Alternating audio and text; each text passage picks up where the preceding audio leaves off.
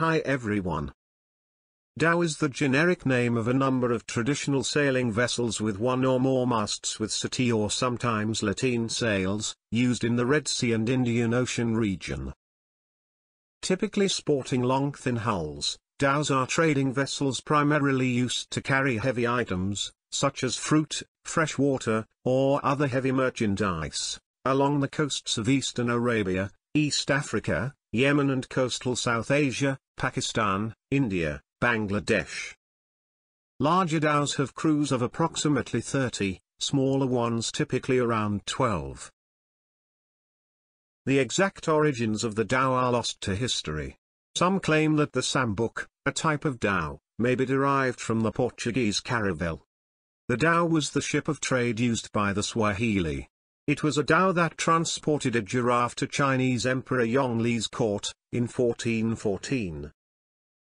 Ships that are similar to the dhow are mentioned or described in the 1001 Nights including various ports where they harbored. The dhow is also associated with the pearl trade.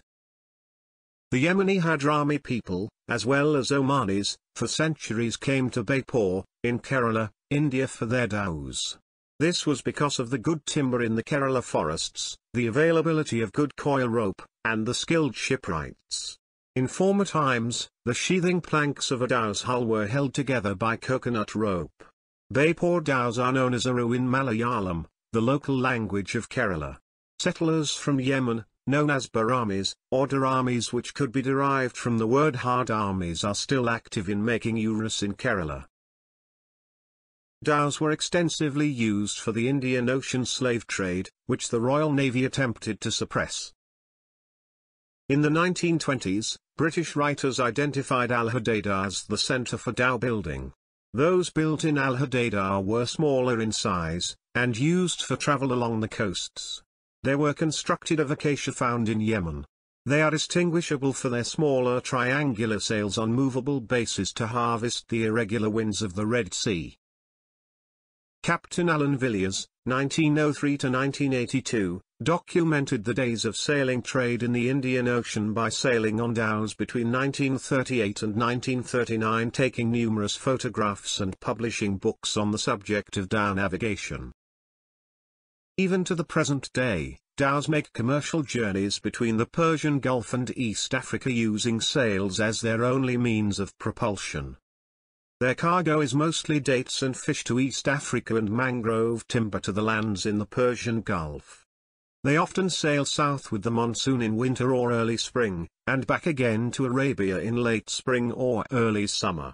For celestial navigation, dhow sailors have traditionally used the kamal, an observation device that determines latitude by finding the angle of the pole star above the horizon.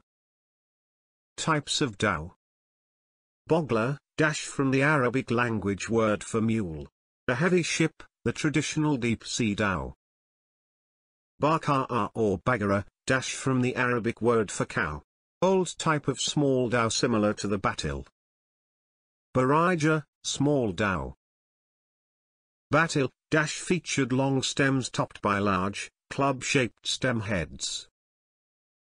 Badan, a smaller vessel requiring a shallow draft boom, or dhangi, a large-sized dhow with a stern that is tapering in shape and a more symmetrical overall structure. The Arab boom has a very high prow, which is trimmed in the Indian version. Ghanjah, or kotiya, a large vessel, similar to the baghlah, with a curved stem and a sloping, ornately carved transom. Jahazi or jihazi. A fishing or trading dhow with a broad hull similar to the jaliboot, common in Lamu Island and the coast of Oman. It is also used in Bahrain for the pearl industry. The word comes from jahaz, a Persian word for ship. Jalabut or Jalbut. A small to medium-sized dhow. It is the modern version of the shu'ai with a shorter prow stem piece. Most jalabuts are fitted with engines. Patamar, a type of Indian dhow. Sambuk or Sambuk, dash the largest type of dhow seen in the Persian Gulf today. It has a characteristic keel design, with a sharp curve right below the top of the prow. It has been one of the most successful dhows in history. The word is cognate with the Greek sigma alpha mu beta kappa eta sambuk, ultimately from Middle Persian sambuk. Shu'ai. Medium-sized dhow. Formerly the most common dhow in the Persian Gulf used for fishing as well as for coastal trade. Zaruq, small dhow, slightly larger than a barijah. Dhoni, Maldivian traditional multi-purpose sail vessel. The term dhow is sometimes also applied to certain smaller lateen sail-rigged boats traditionally used in the Red Sea, the eastern Mediterranean and the Persian Gulf area, as well as in the Indian Ocean from Madagascar to the Bay of Bengal. These include the feluccas used in Egypt, Sudan, and Iraq, and the dhoni used in the Maldives, as well as the tronchi, grab and garlaffa. All these vessels have common elements with the dhow.